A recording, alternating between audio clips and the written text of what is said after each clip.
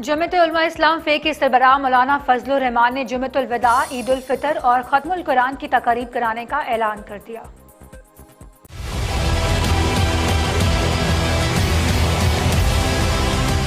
जमीयत इस्लाम फे के सरबरा मौलाना फजल रहमान ने जुमतुलविदा ईद उल फित्र और ख़त्मुल कुरान की तकरीब कराने का ऐलान कर दिया। कराची में मौजूद जे यू आई फे के सरबरा का कहना था की हमने कोरोना वायरस के पेश नज़र अपने रजाकार, हकूमत की खिदमत के लिए पेश किए और इंसानियत की खातिर हकूमती इकदाम की हिमायत का ऐलान किया।